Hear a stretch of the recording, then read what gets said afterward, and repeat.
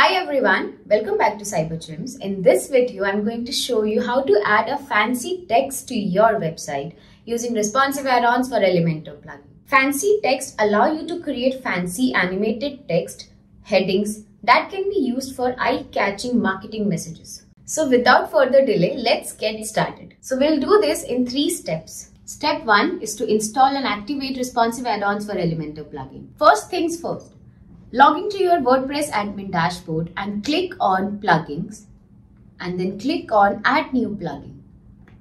Now here, search for responsive add-ons for Elementor and when you found this plugin, click on install now and then click on activate. Responsive add-ons for Elementor has been successfully activated on your website. And step 2 is to add the RAE fancy text widget. So now go to the page or post where you want to add the widget and click on edit with Elementor. Now here on the left hand panel search for RAE fancy text. Just drag and drop it where you want to add it. And this is how it will appear by default. Step 3 is to customize the RAE fancy text widget.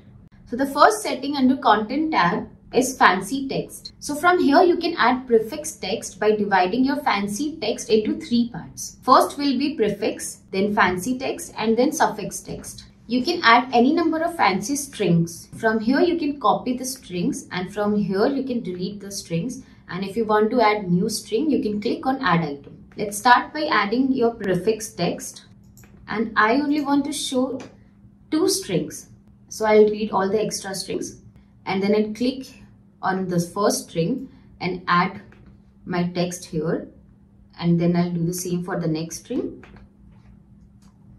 and, and then I'll add suffix text from here. Okay, so once you're done with this, let's go to the next setting which is fancy text settings. So from here under style tab, you can choose from style 1 and style 2. So this is how the style 1 appears and this is how the style 2 appears. And from here you can change the alignment. Under animation type you can select the animation for your fancy text. And under typing speed, from here you can adjust the typing speed and under back speed you can adjust the back speed of the fancy text and delay on change you can set the delay in showing different fancy text and you can enable or disable the loop and from here you can enable or disable to display type cursor. So once you're done with this, let's go to the next tab, which is style. And under style, you can change the prefix text color from here and you can change the typography from here. And under fancy text styles, you can choose the background color for the fancy text and you can set the typography options for the fancy text from here. And under solid color, you can set the text color for the fancy text. So if the animation type is set to typing, you can set the color of the cursor. And under padding, you can adjust the padding around the text. And under margin, you can adjust the margin around the text. You can add a border to your text. And from here, you can add a width. And you can change the color of the border color and border radius from here. Now, let's go to the last settings, which is suffix text styles.